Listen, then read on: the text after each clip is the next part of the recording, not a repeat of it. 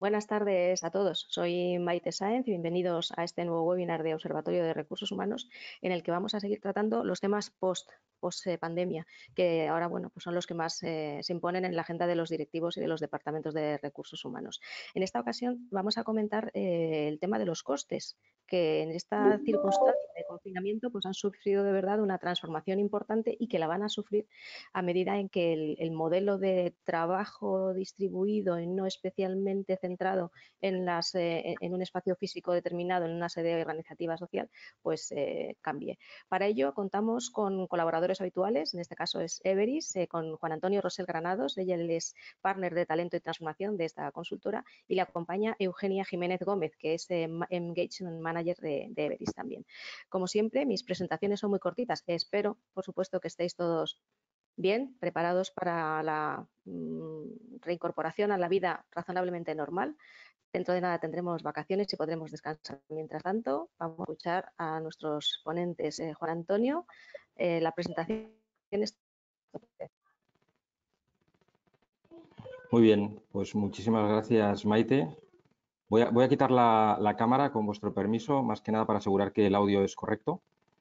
Eh, gracias, Maite, por, invitarnos a, poder compartir este, este, momento y gracias al Observatorio por generar estos espacios en los cuales podamos eh, compartir los temas que nos interesan de recursos humanos. También quería agradecerle a Eugenia, que luego nos contará el detalle del, estudio que hemos realizado y al resto de, de, gente del equipo de Everis que ha estado haciendo el análisis y ha estado de alguna manera, bueno, pues haciendo números y tratando de, sacarle jugo a los datos que, tenemos, que luego, como digo, Eugenia nos da. Y por último, quería agradeceros a todos el, haber buscado un espacio en vuestras agendas que son complicadas para poder compartir este, este espacio. La idea de, la sesión es, eh, vamos a compartir el, el, índice, si os parece, Eugenia, perdona. La idea de la sesión es, por un lado, poder eh, hacer un, pequeño, una pequeña reflexión inicial de lo que es el, contexto y los objetivos que hemos perseguido con este ejercicio, poder eh, contaros cuál ha sido el, punto de partida, es decir, el, tipo de empresa que de alguna manera hemos analizado y cuáles son las conclusiones respecto a, cómo eh, en el momento actual del, post-COVID y, y, lo que vendrá más adelante afecta en torno al tema de los costes haremos un, drill down sobre, sobre el, detalle de cada uno de los factores que, afectan a, de diferente forma a esta variable, a la, variable del coste con la implantación del teletrabajo. Y luego haremos una, reflexión final muy rápida. ¿vale? Y como siempre, eh, compartiremos con vosotros el documento y tendremos un, espacio para las preguntas eh, que pudieran surgir como consecuencia de, la, de la charla. Si pasamos a la siguiente diapositiva, simplemente por, de alguna manera, trasladaros cuál es el contexto, que lo conocéis. Al final, el, COVID lo que ha hecho ha sido acelerar de manera exponencial y, sobre todo, de, una forma muy forzada la implantación del teletrabajo. Y además es un teletrabajo que, que, bueno, en la mayoría de los casos, como ha venido impuesto, pues probablemente nos ha pillado de aquella manera. ¿no? Lo importante a partir de ahora es ver eh, cómo ese teletrabajo podemos institucionalizarlo de alguna manera, podemos conseguir un nivel de madurez eh, lo suficientemente eh, positivo, por así decirlo, como para que se convierta en una forma de trabajo en la nueva normalidad. Y esto ha sido, por un lado, debido a, la pandemia. evidentemente es algo que nos ha cogido a todos de nuevas, como decía, y el, gobierno decretó el estado de alarma, todos nos tuvimos que confinar y dimos lugar a un teletrabajo un poco extraño, ¿no? obligado, como digo, y, no demasiado estructurado. Eh, esto, junto con el cierre de fronteras, lo que ha hecho ha sido que la movilidad interna en las compañías eh, se haya reducido drásticamente. Ahora, con la desescalada paulatina, parece que empieza a haber un poquito más de movimiento, pero es verdad que eh, ha habido un cese de la actividad presencial en la mayoría de las organizaciones.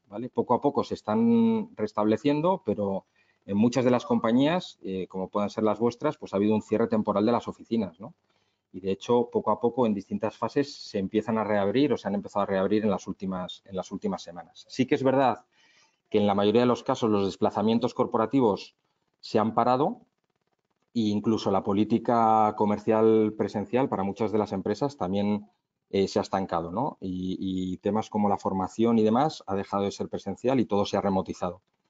Esto, sin lugar a dudas, está teniendo un impacto claro en los costes y, sobre todo, nos permite hacer determinadas reflexiones en el medio plazo, ¿vale? Pero eh, al final es importante considerar que eh, nos encontramos en un momento en el cual podemos vivir esto como, como un problema, ¿no?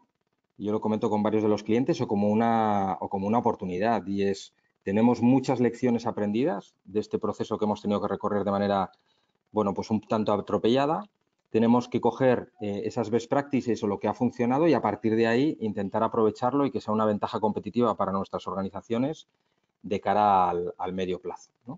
Y en este sentido, si pasamos a la siguiente slide, perdona, Eugenia, el objetivo de, este análisis que hemos realizado ha sido mm, responder a cuatro grandes preguntas. Las tres primeras preguntas tienen que ver con, temas estrictamente financieros y en este sentido hemos hecho un análisis para, responder a la pregunta de cómo afecta el teletrabajo en lo que serían los costes directos del, puesto de trabajo, del workplace.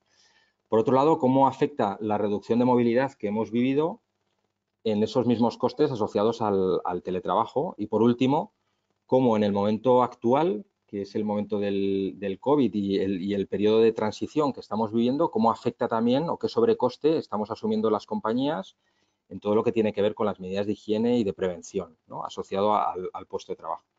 Y eh, estas tres preguntas nos las hemos hecho en cuatro horizontes temporales y esto es importante. Lo que hemos hecho ha sido tratar de hacer una comparativa en base a estos tres ejes en cuatro momentos temporales y hemos cogido cuál era la situación de las, de las compañías, en este caso de una compañía tipo que ahora os contará Eugenia cómo se caracteriza, antes de que sucediera el COVID, ¿vale? Y hemos visto todas las partidas presupuestarias alrededor del, del teletrabajo. Durante lo que hemos llamado COVID, que es desde marzo que empezó el confinamiento hasta cuando entendemos que en base al estado de alarma y las decisiones del gobierno se va a seguir permitiendo ese teletrabajo un poco obligado, por así decir. ¿vale? En, esta segunda fase también hemos hecho el mismo análisis. Luego una tercera fase que es desde que acabe en septiembre o septiembre-octubre, todavía se está acabando de decidir, eh, este teletrabajo impuesto entre comillas o obligado hasta lo que sería un estado de nueva normalidad. Y por eso veis ahí el to be defined. No sabemos muy bien si estaremos hablando de seis meses, ocho meses, pero está claro que va a haber un proceso de transición. Algunas organizaciones será más largo, en otras podrá ser eh, un poco más contenido, pero está claro que va a haber un punto, incluso a partir de septiembre, en el cual haya que seguir eh, manteniendo algunas medidas de seguridad y el teletrabajo va a ser un teletrabajo de, transición, por así decirlo. Y luego hemos hecho también un análisis con lo que nosotros llamamos el post-COVID, que es como consecuencia de la nueva normalidad. Con la aparición de la esperada vacuna, entendemos que una vez finalizado el proceso de transición, volverá la nueva normalidad en el cual las reglas del juego entendemos que van a ser distintas. Y cuando hablamos de reglas del juego, pensamos no solamente en lo que tiene que ver con el propio teletrabajo, sino con las políticas de viajes, con los desplazamientos, la presencialidad y demás. De tal manera que hemos hecho este ejercicio en base a cuatro momentos temporales para ver la evolución y en, base también a, las conversaciones que hemos tenido con, los clientes y cuál es nuestra visión desde Everis, el cómo en cada una de esas fases podemos llegar a tener ahorros de costes. Son ahorros de costes que luego eh, profundizaré un poco más eh, en ellos, pero lo relevante está eh, no tanto en el ahorro de costes, sino en la última pregunta. Al principio hablábamos de tres preguntas, tres preguntas estrictamente financieras, pero la cuarta y la que para nosotros es lo más importante es ¿y, qué hay de todo esto en lo que tiene que ver con, las personas? Porque está claro que en cualquier matriz o en cualquier estudio, en cualquier análisis, estamos metiendo los temas de, de tecnología, estamos metiendo las partidas presupuestarias asociadas al alquiler de espacios, estamos considerando partidas presupuestarias eh, absolutamente tangibles o, cuantificables, pero en ningún caso estamos, o en pocos casos, mejor dicho, estamos considerando que eh, palancas hay que tocar respecto a, las personas. Y en este sentido, luego en la reflexión final ahondaremos un poco más, porque las organizaciones pueden ver esto, sin lugar a dudas, o podemos ver esto como una oportunidad, sin, lugar a dudas, pero, pero no debería ser una oportunidad solamente de reducción de costes. Y sabemos y somos conscientes de que vienen momentos duros, pero creemos que parte de, esos costes realmente eh, requieren ser reinvertidos para, para, trabajar en el ámbito de las personas en la nueva normalidad, que muchas veces en la ecuación no se trasladan y para nosotros es clave. De tal manera que si nosotros que somos del ámbito de los recursos humanos queremos ir a hacer un planteamiento de teletrabajo a nuestros mayores, al CEO, ¿no? Es bueno ir acompañado del CFO, de la gente de finanzas, para poder poner números encima de la mesa, pero es muy, muy relevante que no se vea solamente como una eficiencia en costes, sino como una forma de reinvertir con foco en las personas, porque sin lugar a dudas el teletrabajo ha venido para quedarse, no sabemos en qué porcentaje y dependerá mucho de cada organización, pero sin, sin lugar a dudas también tiene un impacto muy, muy relevante sobre las propias personas. Y en este sentido, este coste hay que considerarlo. Dicho esto, eh, Eugenia, eh, te doy paso para que puedas eh, iniciar el, la explicación del, análisis que hemos, que hemos realizado.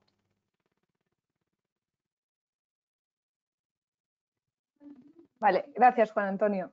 Eh, primero de todo, antes de empezar con el análisis de los costes que hemos identificado como asociados al Workplace, vamos a caracterizar la empresa para la cual se ha realizado el estudio. ¿vale? Se trata de una empresa no industrial de aproximadamente unos 5.000 empleados con una única sede que dispone de 30.000 puestos de trabajo.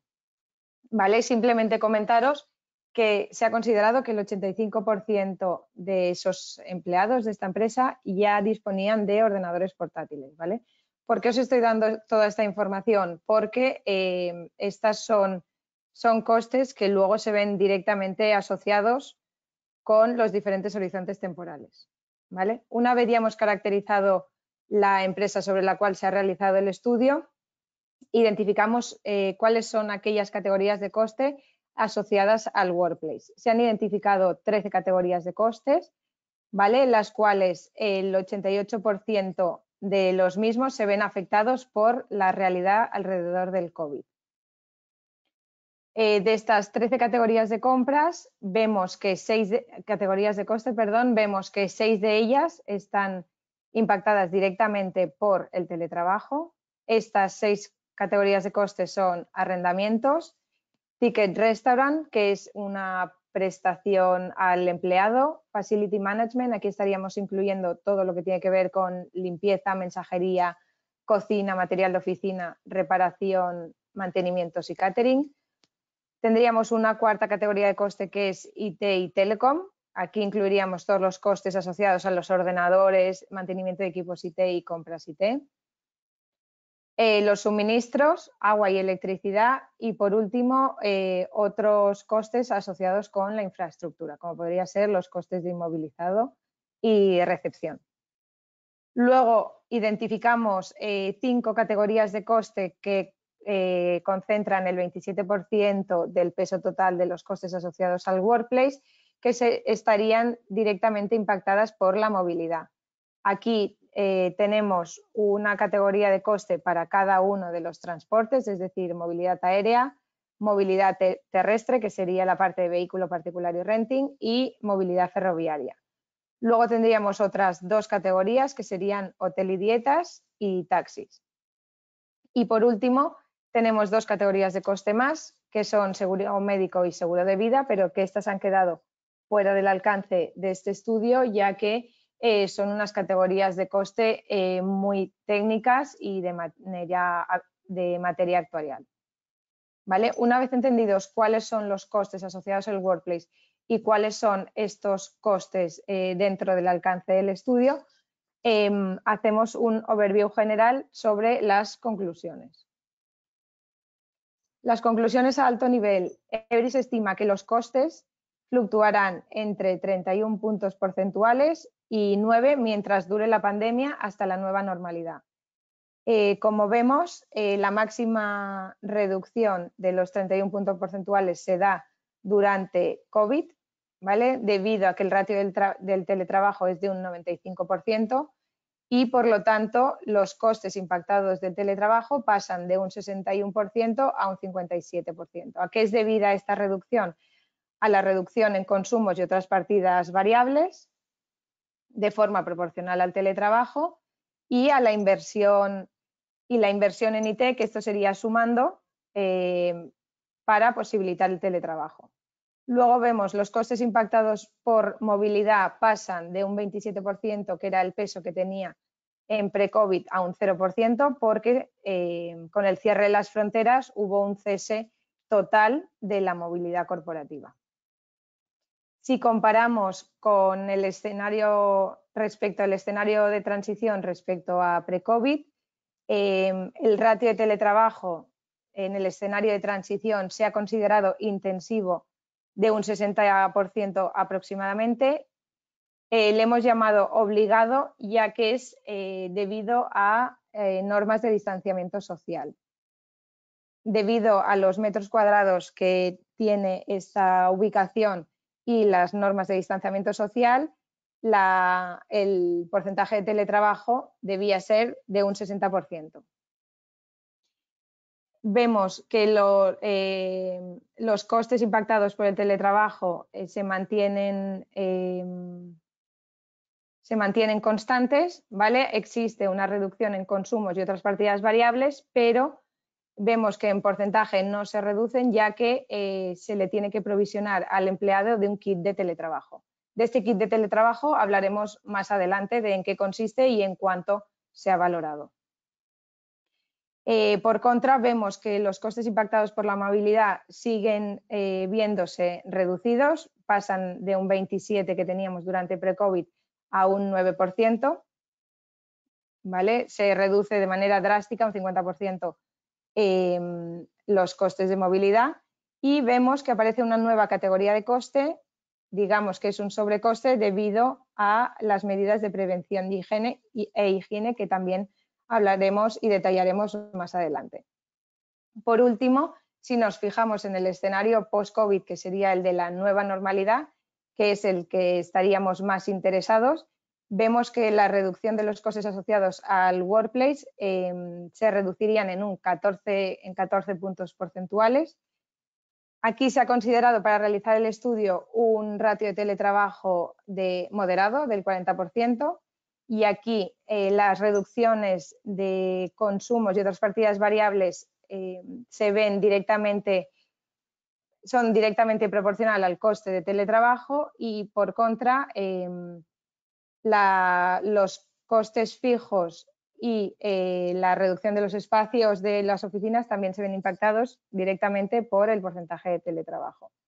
Aquí, como vemos, la reducción de la movilidad, eh, vemos que la nueva normalidad también se va a ver eh, reducida, pero en menor impacto, un 15% aproximadamente según la nueva política corporativa implantada.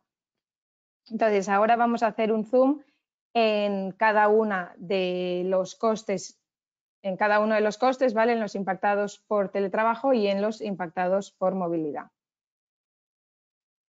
Vale, si hacemos un primer zoom sobre la primera categoría de coste, que son aquellos costes impactados por el teletrabajo, vemos que el teletrabajo reducirá hasta nueve puntos porcentuales los costes del workplace, aún y teniendo en cuenta las inversiones derivadas de la adecuación de equipamientos, tanto en IT como en la adecuación de los hogares de la gente.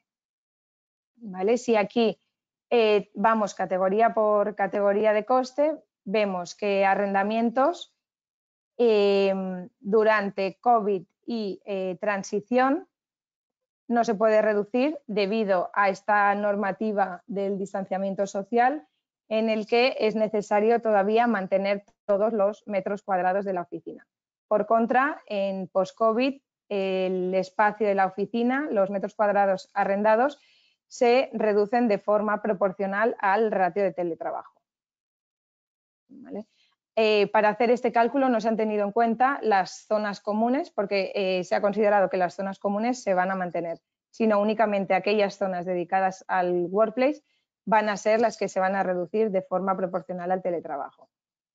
Respecto al coste de la ticket restaurant, vemos que se mantiene constante en todos los horizontes temporales, pero a partir de la, ya que es un derecho adquirido para el empleado, pero a partir de la transición sí que vemos que parte del importe de esta ticket restaurant se ve, em, se ve agrupado, se ve distribuido con la subvención del teletrabajo. Esta subvención del teletrabajo es para sufragar el aumento de los gastos en el hogar de los empleados.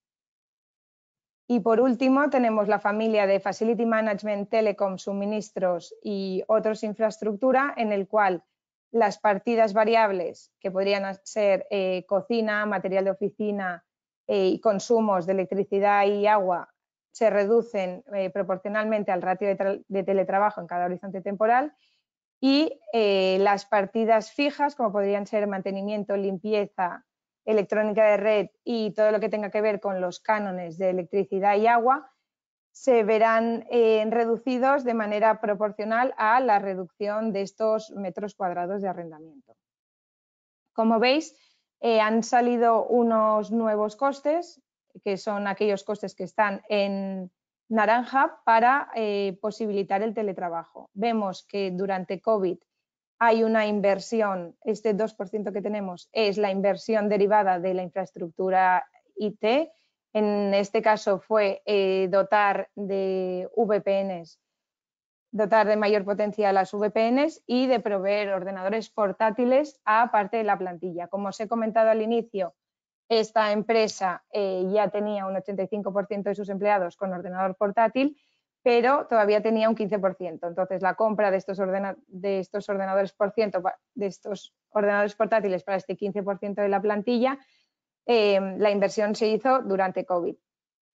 Luego, en transición, también tenemos otro 2% de inversión eh, debido a eh, este kit de teletrabajo. ¿En qué consiste el kit de teletrabajo?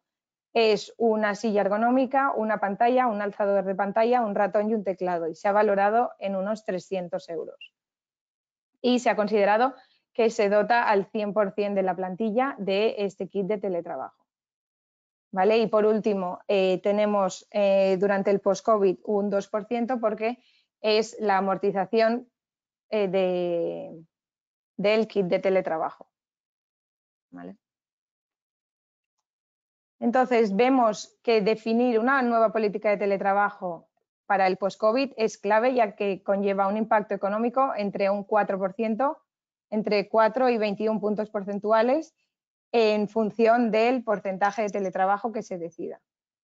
Si finalmente se decide que los empleados trabajen un día a la semana, un día a la semana, estaríamos consiguiendo un 4, por, 4 puntos porcentuales de ahorro y si por contra tuviésemos una política más agresiva de teletrabajo, por ejemplo, del 80%, cuatro de cinco días teletrabajando, se podría llegar a conseguir hasta un 21% de reducción de los costes asociados al workplace.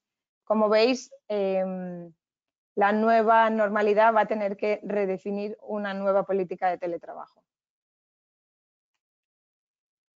Si pasamos a los siguientes costes impactados por eh, movilidad, vemos que la vuelta a la nueva normalidad reducirá hasta 5 puntos porcentuales los, costes del workplace en función de eh, las políticas corporativas de movilidad y de las restricciones normativas que nos marque el gobierno. ¿Vale? Como vemos, eh, donde hubo eh, la mayor reducción fue durante COVID, en el cual la movilidad se redujo al 100%. Eh, como hemos visto em, en la primera slide, durante la transición se redujo en un 50% y durante el post-COVID se ha considerado que se va a reducir en 5 puntos porcentuales. ¿Qué hipótesis se han tenido en cuenta a la hora de decir estas reducciones? Em, se ha considerado que eh, em, a mayor número de personas en el medio de transporte, mayor eh, reducción se tendrá del uso de este medio de transporte. Por lo tanto, la movilidad aérea se verá más reducida que la ferroviaria y la ferroviaria más reducida que el eh, vehículo particular, renting o taxis. Asimismo, para la distancia. Eh, a mayor distancia se ha considerado que habrá eh, mayor reducción de la movilidad. Y por último, el coste de hoteles y dietas se ha asociado directamente a la movilidad, está directamente relacionada con la reducción de la movilidad aérea y ferroviaria, ya que eh, se ha considerado que es cuando se necesitan hoteles y dietas. Como vemos, otra de las políticas eh, que es clave revisar para la nueva normalidad es la, política de movilidad corporativa. Aquí, ya que conlleva un impacto económico entre un 1 y 9 puntos porcentuales sobre el total de los costes asociados al workplace. Aquí comentar que no hemos sido tan agresivos con eh, los porcentajes de reducción de la movilidad, ya que no es eh, una cosa que dependa directamente de nosotros, o sea, de la organización, sino que también depende de la actividad comercial y del cliente. ¿vale? Por lo tanto, Everis lo que propone es una reducción entre el 5 y el 25% de la movilidad. Y por último, eh, pasamos a qué inversiones eh, nos llevará esta nueva normalidad o qué inversiones se ven impactadas por el COVID. Comentar que estas inversiones se van a llevar a cabo durante la época de transición, ¿vale? Para dotar a las compañías y a los espacios de estas organizaciones de las medidas necesarias para que la gente vuelva a sus oficinas y supondrán un incremento de nueve puntos porcentuales sobre el total de los costes eh, asociados al workplace respecto al pre-COVID. ¿vale? Vemos que este 9% está distribuido en tres categorías de coste. Eh, un 1% representaría las nebulizaciones, eh, que esto consistiría, para hacer el, el, estudio, se ha tenido en cuenta que se van a realizar dos nebulizaciones al mes, donde cada nebulización desinfecta el 50% del espacio total de las oficinas. Luego, el coste más importante o el sobrecoste más importante sería el del kit higiénico, que estaría representando el 8%, para el cual se han distinguido dos kits higiénicos eh, diferentes en función de los grados de interacción con otros agentes. Tendríamos eh, un kit para aquellos perfiles con interacción puntual en el cual el precio medio es de 22 euros al mes y aquellos perfiles con interacción recurrente que podrían ser eh, recepcionistas, por ejemplo, o gente de Facility Management tendría un precio medio de 105 euros al mes. Y por último, eh, tenemos la adecuación de los espacios COVID. Aquí destacar que es un 0% porque siempre estamos considerando una amortización a cinco años y por lo tanto eh, el gasto queda bastante diluido a lo largo de esos cinco años. Pero se ha considerado teniendo en cuenta eh, las diferentes tecnologías que Everis pone a disposición de la organización para adaptar estos espacios a la nueva normalidad, eh, se ha tenido en cuenta la implantación de reservas de espacio y puestos de trabajo, que está valorado aproximadamente en 70.000 euros, y eh, el software de biometría facial que permitiría el acceso a las oficinas y que incluye un control de temperatura y que tiene un coste de aproximadamente 220.000 euros. Everis también tiene otros, otras potenciales soluciones, como podría ser el software de teleconsulta y seguimiento para ver el nivel de riesgo de contagio o soluciones con beacons basada en sensores para la monitorización y trazabilidad del uso de los, de los espacios y la ocupación. ¿vale? Pero para la realización de este estudio se ha tenido en cuenta simplemente la reserva de espacios y el software de biometría facial. Eh, destacar que únicamente se han tenido en cuenta para la adecuación de los espacios estos softwares no se han tenido en cuenta iniciativas de recursos humanos de apoyo y concienciación al empleado, de adopción de herramientas, de gestión del cambio y comunicación em, en ninguna de las fases estudiadas. Ok, no, si, volvemos un segundín al anterior, perdona Eugenia, para retomarlo desde ahí. Gracias, Eugenia. Eh, como veis, bueno, al final hemos hecho una estimación en base a una empresa tipo y este, este capítulo de inversiones, ¿no? este 9%, pues evidentemente puede ser tan grande o tan pequeño como cada uno de vosotros eh, consideréis, sobre todo en el, periodo de, transición, ¿no? sobre todo también porque hay que ver ese periodo cuánto, cuánto tiempo va a tener lugar. A partir de, aquí, lo relevante y en las reflexiones eh, finales lo que, lo que queríamos poner de manifiesto es que, como veis, no, no un segundín en el anterior, perdona Eugenia, eh, es que eh, en ese 9% no hemos considerado, y es lo que os decía antes, las actividades que tienen que ver con el impacto directo sobre las personas. Aquí podríamos poner bastantes iniciativas que estáis eh, poniendo en marcha todos vosotros eh, a través de los departamentos de recursos humanos que tienen que ver con apoyo a los empleados durante esta fase, la concienciación de, bueno, de la importancia del teletrabajo, la adopción de herramientas, ¿no? E incluso ha habido seguro formaciones eh, rápidas para poder utilizar herramientas de, de videocolaboración, para que los equipos estuvieran conectados. Es decir, hay un montón de iniciativas que se han realizado de manera un tanto, no sé, eh, rápida, ¿vale? Sobre todo durante el COVID y que ahora con un poco más de calma se están poniendo en marcha durante el proceso de transición. Para nosotros el proceso de transición durará unos meses, no sabemos cuántos meses, pero lo que está claro es que eh, el teletrabajo, como decía antes, ha llegado para quedarse y lo importante es el, cuarto momento temporal, el post-COVID, ¿no? Y en ese sentido, más allá de que esta inversión sea de un 9% o sea de un 15%, incorporando las prácticas de recursos humanos, lo relevante es cuánto será esta inversión en la época eh, post-COVID.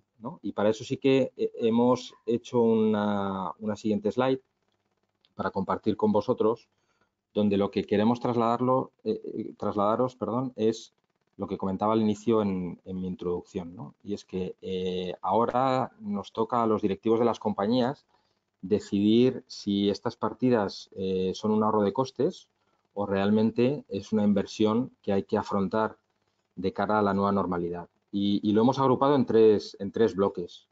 Por un lado, tenemos claro que la nueva normalidad va a requerir de una evolución cultural y en este sentido, eh, comentándolo también con, con algunos de vosotros, con clientes, e incluso en el propio Everis, lo que nos hemos dado cuenta es que eh, va a haber que revisar esos valores, ¿no? Y sobre todo el teletrabajo nos obliga a fomentar, si es que no estaban ya instaurados en las compañías, valores que hablan de, la, confianza, confianza en el empleado, confianza en, los que te rodean, temas de autonomía, empoderamiento, ¿no? Darle eh, las herramientas a las propias personas y empoderarlas para que empujen eh, bueno, pues los objetivos que se les, que se les eh, trasladan y sobre todo un, valor que nosotros ya teníamos en Everis que es, la libertad responsable. Al final el teletrabajo no puede ser un síntoma de descontrol, ¿vale? sino de libertad responsable y como decía antes empoderar a los empleados y fiarse de ellos ¿no? y tener confianza en ellos para, para estar seguros que igual que esto ha ido bien durante, durante el periodo de confinamiento puede ir muchísimo mejor haciéndolo de una manera ordenada en el futuro.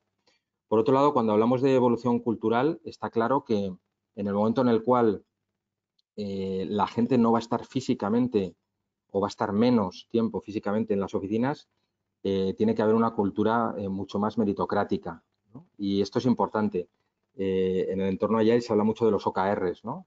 de los Objectives Key Results. esto va de, de, evolucionar una cultura basada en los objetivos, objetivos cuantificables y poder medir resultados tangibles y, cambiar eso por, el, por la cultura más, más, tradicional del control, de la presencialidad y del rendir cuentas. Y esto sabemos que, además en nuestro mercado es, difícil, pero la, la, evolución cultural, queramos o no, si hay teletrabajo o hay más teletrabajo, va a ir hacia allá. Luego, eh, hay que poner en valor la conciliación laboral y reconocer de manera positiva eh, ese trabajo en remoto. ¿no? vale de nada que no fomentemos internamente las organizaciones el que, oye, que esté bien visto, que, jolín, que si puedes teletrabajar y te puedes organizar de, de, otra manera, pues que tengas mucha mejor conciliación laboral. Y en este sentido, eh, al final, se reconozca pues que si no es necesario hacer determinados desplazamientos, que no sea algo que se pone en el debe de, nuestro día a día, sino al revés, que se ponga eh, de manifiesto, ¿no? que eres capaz de analizar cuándo realmente se requiere de un desplazamiento y no solamente por el coste, sino para generar esa dinámica y evolucionar esa cultura, ¿no? que se premie. Y luego, por último, hablamos de, asegurar la sostenibilidad de la evolución cultural.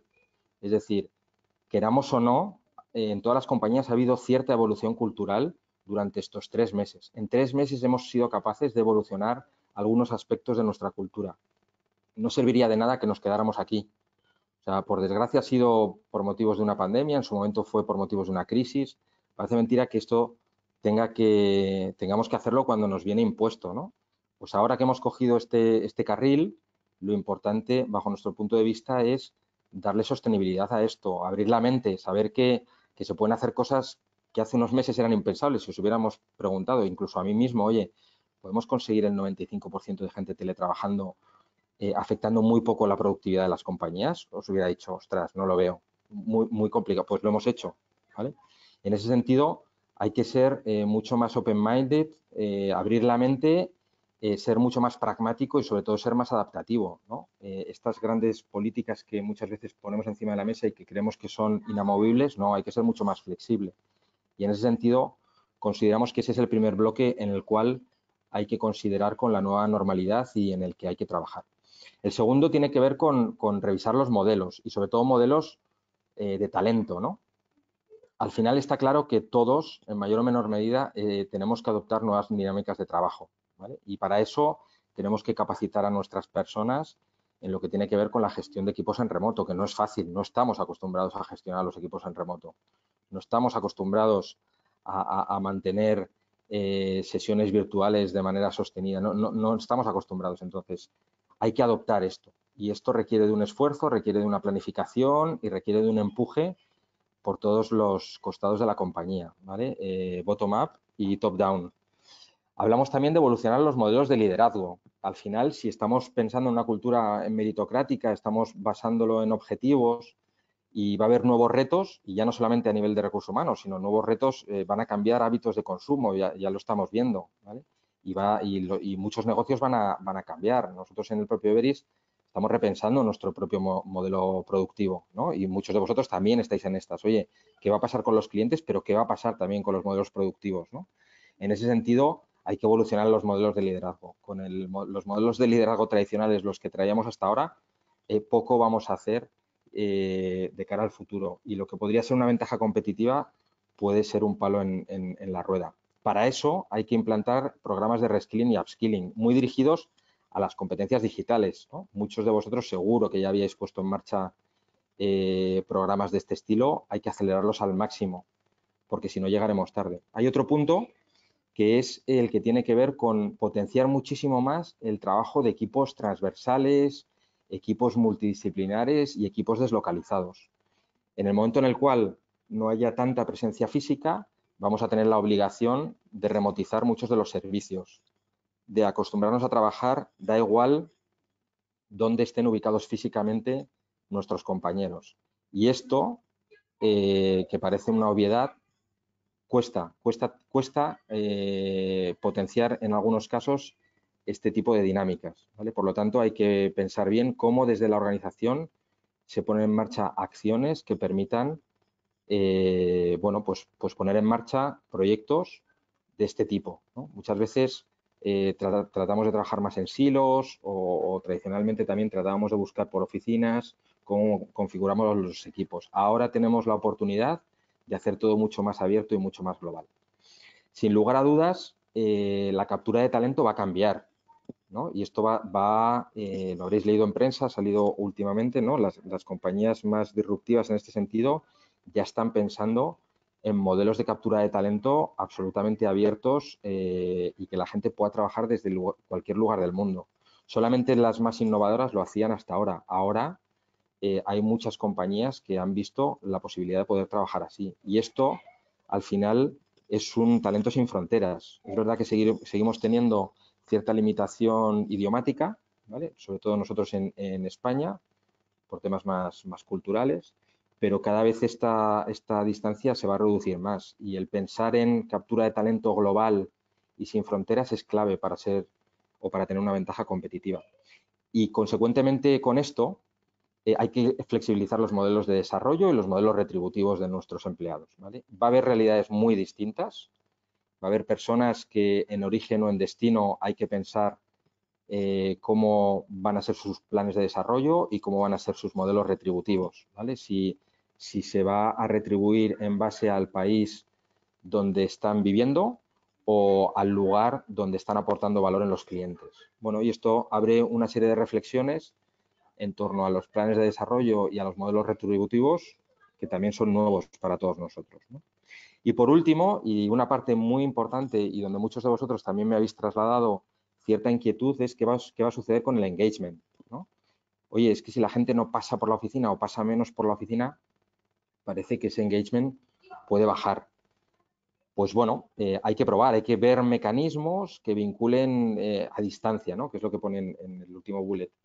Eh, al final hay casos de éxito en los cuales organizaciones, como decía antes, más disruptivas y más innovadoras ya estaban trabajando con gente deslocalizada que apenas pisa los headquarters o apenas pisa las oficinas, igual una vez o dos veces al año, de manera muy, muy puntual y que tienen unos niveles de engagement con la compañía brutales. Pues aquí hay muchísimo que aprender. No pensemos que por el hecho de no estar físicamente rozándonos en el día a día, eh, el nivel de engagement no puede ser incluso superior al que tenemos actualmente.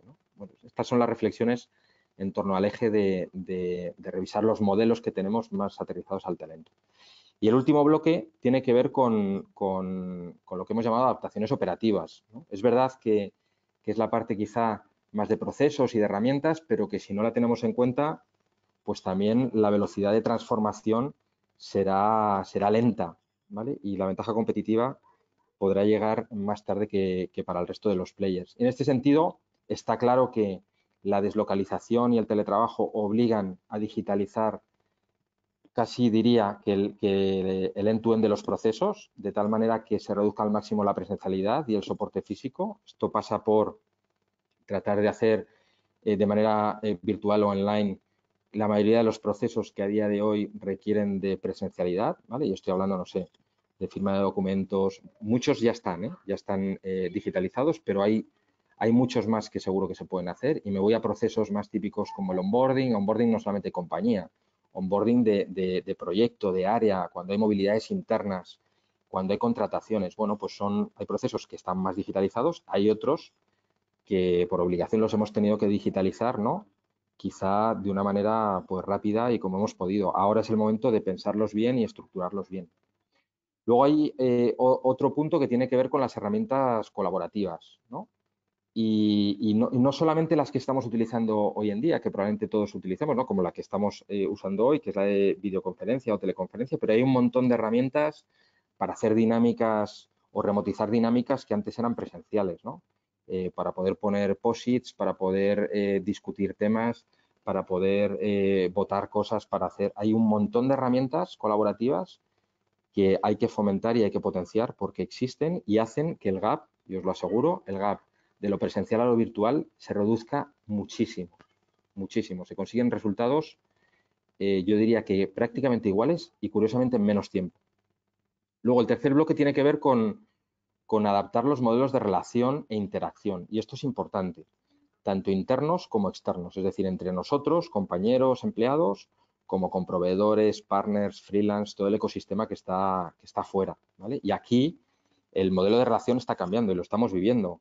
Pero bueno, hay que ayudar a aquellas personas que quizá anden un poco más perdidas en este sentido para que estos modelos les ayuden a que los niveles de relación, los niveles de calidad y los niveles de interacción pues sigan eh, siendo los mismos. ¿no? Nosotros en consultoría, por ejemplo, lo, vivimos mucho. ¿no? El, estar muy cerca de los clientes antes era fácil porque como ibas a los proyectos y demás, te rozabas con ellos. Ahora te tienes que forzar porque el modelo de relación ha, cambiado ¿no? y, nos pasa a los consultores con los clientes y, os pasa a vosotros empresas clientes con vuestros propios clientes. esos modelos de, relación bueno, pues hay que adaptarlos porque sin lugar a dudas cambian. Luego, eh, otro tema que hemos visto es que eh, el Agile ya llegó para quedarse. Eh, hubo dudas de qué iba a pasar ahora con, el tema del teletrabajo, el confinamiento, la deslocalización. Y os puedo decir también, si os sirve de, input, que sorprendentemente, bueno, se están remotizando muchísimos de los servicios de Agile y hace unas semanas hicimos también un, webinar del, concepto de Agile for, for, HR, de cómo desde recursos humanos se podía potenciar esto. Y, os diré que, que, el, que, Agile distribuido está teniendo éxitos muy relevantes en este sentido. Por lo tanto, os animo también a que de alguna manera no paréis eh, los, proyectos que hay en Agile, sino al revés. Aprovechéis esta situación para poner en marcha la remotización de muchos de los servicios que se hacían antes en, en presencial porque tienen muy buenos resultados.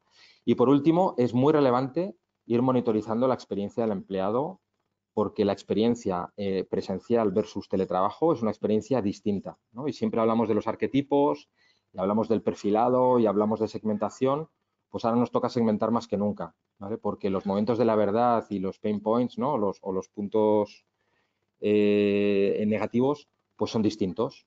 Eh, cambia la foto y los que ya habéis montado journeys de experiencia o, los estáis montando, pues considerar que aquí hay que hacer la derivada del teletrabajo y identificar muy bien cuáles son esos momentos de la verdad que son distintos, sobre todo para mejorarlos. Y importante eh, en esa monitorización de la experiencia, eh, lo que siempre decimos, ¿no? la voz del empleado. Hay que testar cómo se está sintiendo el empleado, sobre todo en el teletrabajo, porque tienes probablemente menos posibilidad de, testarlo verbalmente en una conversación informal eh, tomando un café o en el comedor.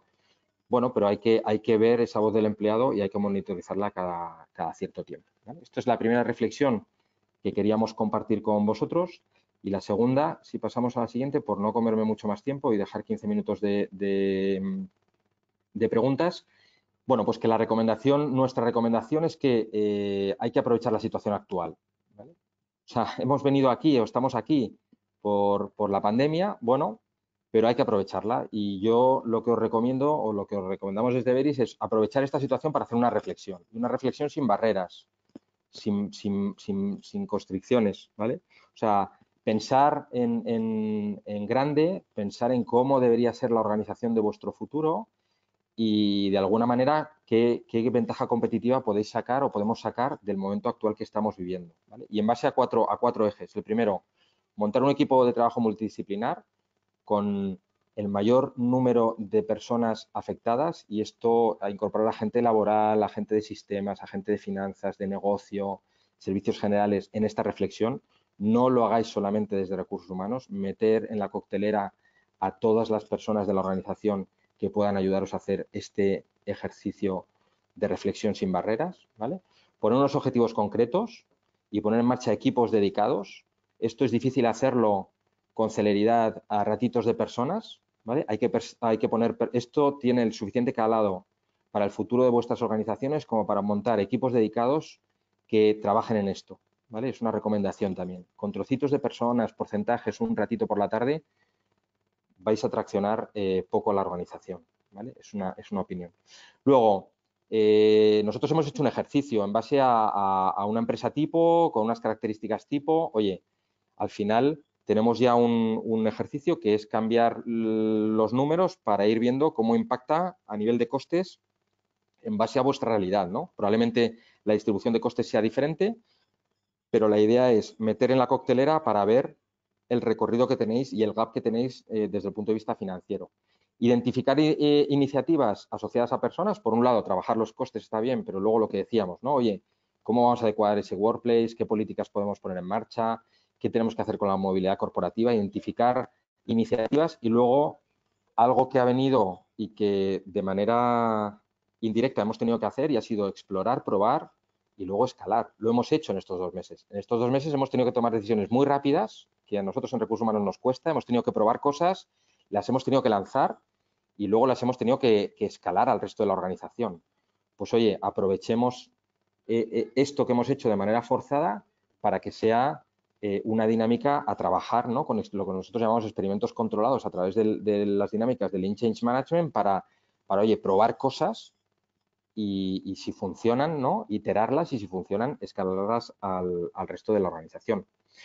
Bueno, pues eh, esto es lo que os queríamos contar en estos 50 minutos. Eh, no sé, Maite, dejamos 10 minutos si queréis por si hubiera preguntas o, o algún flexión final. Eh, sí, sí, tenemos aquí algunas preguntas. Muchas gracias, sobre todo por esa, esa invitación a reflexionar sin barreras. Me ha gustado mucho el concepto, la expresión. Bueno, vamos allá con, las preguntas. La primera, eh, eh, María está interesada en saber cómo habéis calculado el espacio en base al, al, caso que habéis contado con una distancia de 1,5 o 2 metros. Al final, em, lo que actualmente esta organización tiene contado como, como metro cuadrado por empleado son 8 metros cuadrados y con eh, la nueva normativa tiene que ser de 20 metros, se ha considerado de 20 metros cuadrados por empleado.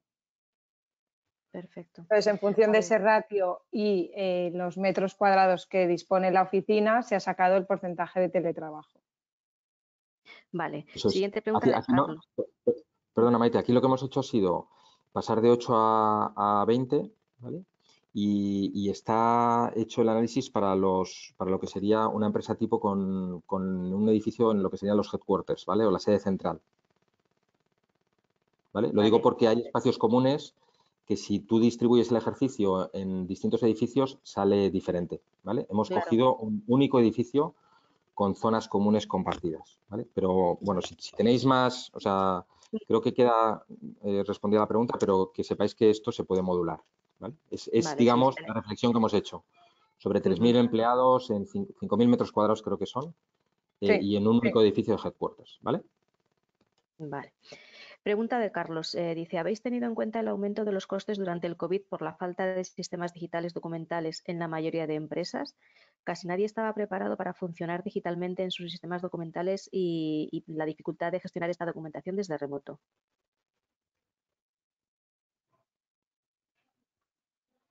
Sí, aquí eh, Eugenia eh, lo, comentaba, lo comentaba antes. Es verdad que eh, hemos considerado una partida donde por el nivel de madurez de la empresa tipo que hemos cogido sí que había, como comentaba antes Eugenia, cierta tecnología ya implantada como para poder eh, trabajar en teletrabajar. Es verdad que si eh, revisáramos la empresa de Carlos, me parece que era quien hacía la pregunta, probablemente hubiera que, profundizar un poco más en los costes que ellos han tenido para adaptarse a, bueno, al teletrabajo. Es verdad que esta partida es para este caso concreto, pero es probable que en algunos casos pudiera ser un poco más, un poco más elevada. No sé, Eugenia, si tienes aquí algo que comentar. No, aquí respecto a la documentación, se ha considerado que toda la documentación estaba digitalizada y si por contra no estaba digitalizada, eh, con los medios que cada uno tiene en su hogar, se podía digitalizar, bien sea con una foto con el móvil o con un escaneo. Pero no estamos hablando de, digitalización de grandes eh, lotes de, documentos. ¿eh? Eh, Eugenia se refiere, pues eso, que si tienes que de repente escanear un documento con tu firma o tienes que mandar algo así, digamos, no sé, de cuatro o cinco páginas, con el propio móvil puedas hacer las fotos, convertirlo en PDF y, trasladarlo, ¿vale? Pero no, no están consideradas, eh, bueno, pues el... Grandes volúmenes de digitalización. Grandes volúmenes de digitalización, eso es. Bien, eh, Jaime nos pregunta cómo habéis previsto los costes de ayuda al empleado para conexión de Internet, electricidad y, bueno, pues todo, todo lo que lleva asociado el trabajo en casa.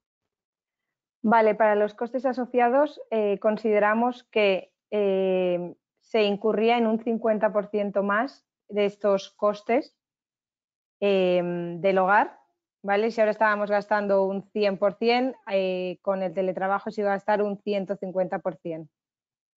¿Vale? Y vimos que la ayuda en cheques de comida se vería reducida porque esta ayuda es para eh, comer alrededor de la oficina y como se va a comer en casa, se tuvo en, cuenta que este incremento de, de, los suministros en el hogar y de también, también incluimos la parte del supermercado, de la compra en el supermercado derivada de comer en el hogar. Em, sería igual al total del cheque de comida. Eso es, hemos, hemos hecho una, eh, en el momento en el cual no comes en la oficina, el cheque de trabajo eh, prescindes de él y haciendo un análisis de los extra costes que tendrían, como decía Eugenia, de, bueno, de electricidad, conexión a internet y demás, más la compra de supermercado porque comes en casa, más o menos salía comido por servido, ¿vale? De tal manera que, no, no resultaría un sobrecoste respecto a aquellos, eh, aquellas empresas que ya tengan los tickets restaurant eh, dentro de, bueno, de la retribución flexible o de los beneficios. Interesante, la verdad. Eh, pregunta Carlos, habéis hablado de un kit inicial de teletrabajo por importe de 300 euros. ¿Sabéis eh, si habéis contemplado una posible compensación mensual a la persona que trabaja por conceptos como los que estabais hablando ahora, de suministros, etcétera? Era uno, era uno de los por suministro. O sea, el por suministros ya lo estaríamos teniendo en cuenta en la subvención por teletrabajo. ¿Vale? Y luego, em, lo que comentaban respecto al kit de teletrabajo, eh, sí que se estudiaron dos posibles escenarios. Uno en el que se le pagase como un eh, alquiler al empleado por el uso de una silla de su casa, eh, una pantalla, pero serían propiedad del empleado. Y por contra, que al final es el escenario que hemos cogido para hacer el estudio, es dotar a todos los empleados con este kit valorado en 300 euros. Al final, lo que nos aseguramos con la segunda medida es que eh, lo que envíes a todos los empleados tenga el visto bueno de, prevención. De la otra manera es mucho más difícil que prevención pueda dar eh, el ok a cada uno en base a su silla, eh, su pantalla y demás. Entonces, eh, optamos por eso en, la segunda opción. Nos preguntan en concreto qué incluiría ese kit que citabais.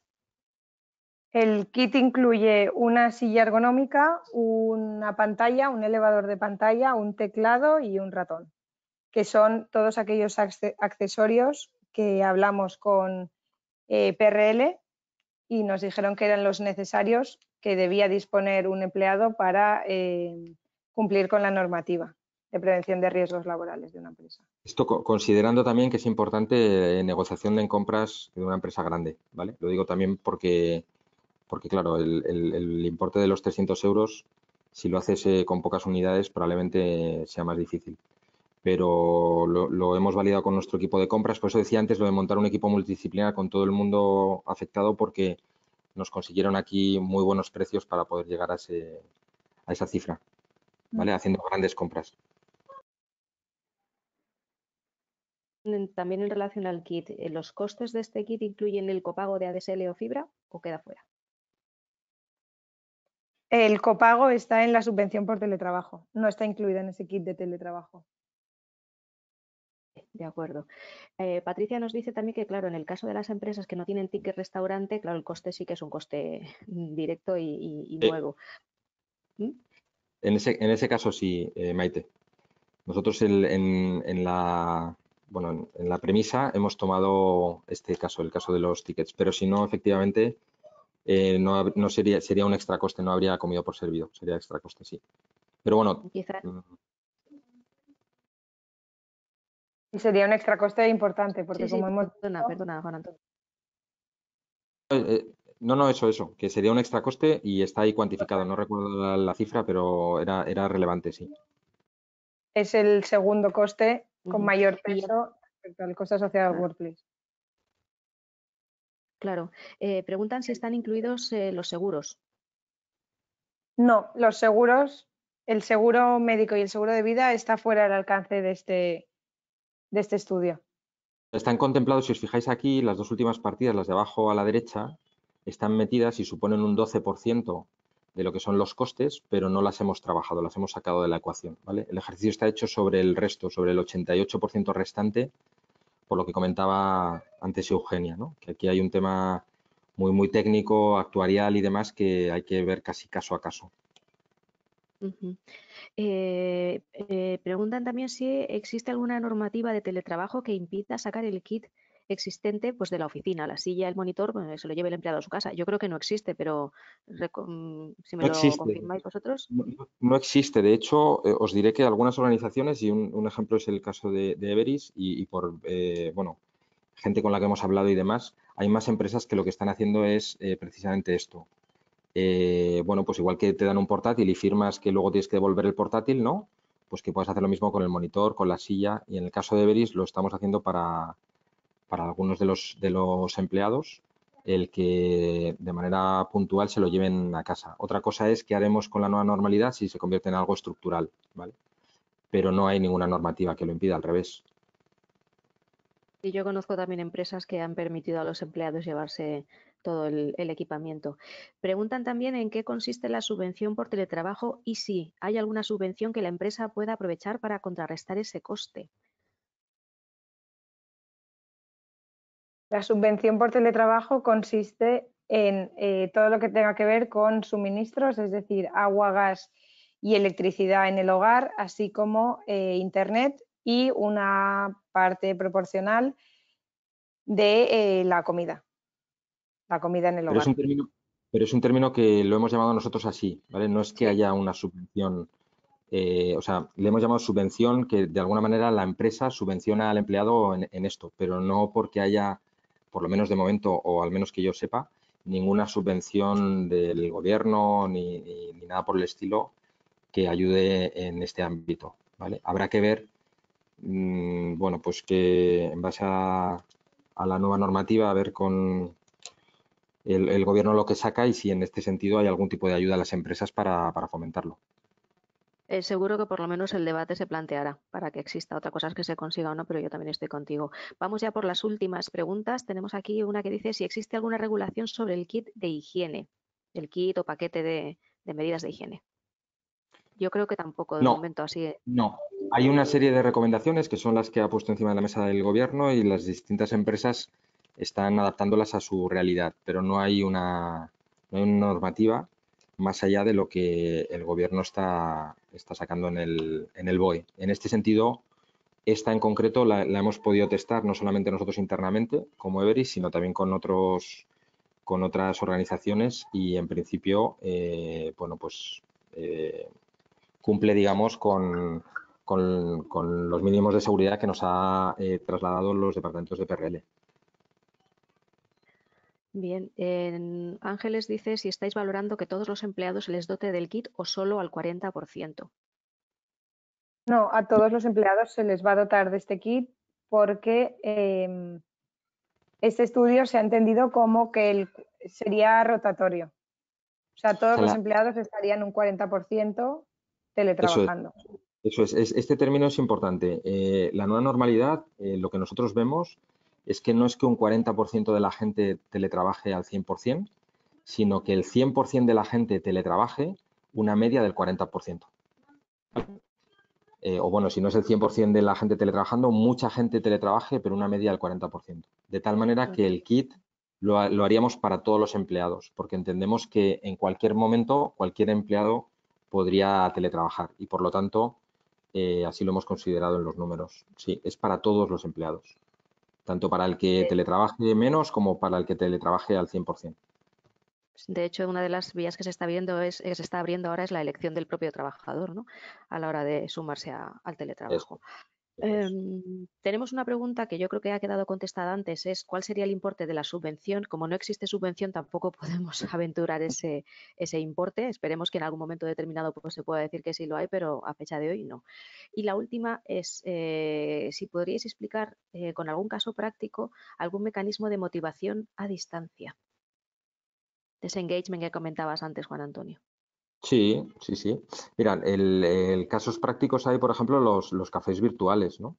Y esto es algo que, cada vez está más extendido y es el, convocar a gente a, lo que se llama un café virtual, que son 15 minutos, eh, igual que convocas a una reunión, precisamente para hablar de temas no profesionales, ¿vale? En este sentido, eh, lo que estás haciendo es conseguir una, atmósfera parecida a la que antes eh, trasladabas pues en un pasillo o tomando un café, eh, bueno, pues en la máquina del café y demás, ¿no? Esto tiene que ver, eh, bueno, con, con, más, más, con el día a día, ¿no? Y luego hay otras iniciativas de engagement que están muy dirigidas, por ejemplo, a lo que nosotros sacamos de las, las, encuestas de, experiencia de empleado, ¿no? El Experience Everis que nosotros trasladamos, donde directamente le preguntamos al empleado cómo se siente, qué cosas podríamos eh, mejorar y en este sentido hay iniciativas que, bueno, que todo lo que sea fomentar el trabajo en equipo redunda en el engagement, ¿no? El, hacer partícipe a la gente eh, de a lo mejor algunos ámbitos donde antes era más difícil porque las salas eran salas pequeñas y demás. Ahora hemos abierto, por ejemplo, nosotros en Everis discusiones ¿no? o conversaciones a mucha más gente de lo que hacíamos antes porque o no se podían desplazar o lo que os digo, eh, eran salas más pequeñas. Las salas virtuales son inmensas y en ese sentido eso fomenta también el engagement, ¿no? El que la gente pueda, pueda ser más partícipe o co-crear determinadas cosas que antes se hacían en grupos más reducidos. Son un par de ejemplos que me vienen ahora a la cabeza, pero vamos, hay más seguro. De hecho, también incluso el mantener unas Em, unas charlas más distendidas eh, one, to, one, También se están haciendo, haciendo mucho con muy buenos resultados. Yo recuerdo alguna entrevista que hemos publicado en Observatorio y de hecho este mes incluso en nuestra revista hay algún, algún ejemplo de, cómo establecer estas eh, nuevas rutinas de comunicación que al final también tiran del engagement. Pues eh, hasta aquí hemos llegado con las preguntas y con la sesión del día de hoy que por lo que veo y por lo que los comentarios que me están llegando la verdad es que ha sido pues muy bien acogida. Os felicitan a los dos porque es una visión diferente también de lo que nos espera a partir de ahora, de lo que tenemos que estar trabajando desde ya. Así es que muchísimas gracias a los dos, Eugenia y Juan Antonio. Como, como, siempre, os enviaremos a todos la presentación de este webinar, el vídeo, por si lo queréis eh, compartir con, colegas vuestros y os invitamos, por supuesto, a que os eh, suméis a un, a un, nuevo webinar en breve, aunque ya os aviso que vamos a ir empezando a espaciarlos un poquito, que ya nos acercamos a las vacaciones y, bueno, pues también todos tenemos ganas de, relajarnos un poquito. Muchísimas gracias a nuestros ponentes, muchísimas gracias a todos por, eh, por estar ahí. Maite, gracias una buena noticia, os digo, superamos el 50% eh, de asistentes sobre los inscritos, cosa que es muy buena noticia. ¿Mm? Enhorabuena. Un abrazo a todos, y cuidaros, mucho. Un abrazo. Hasta luego.